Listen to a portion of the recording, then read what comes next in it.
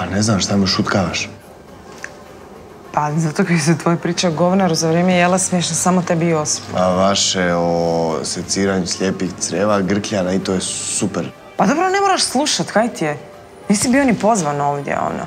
Jesmo se dogovorili da ćeš mi dati malo vremena?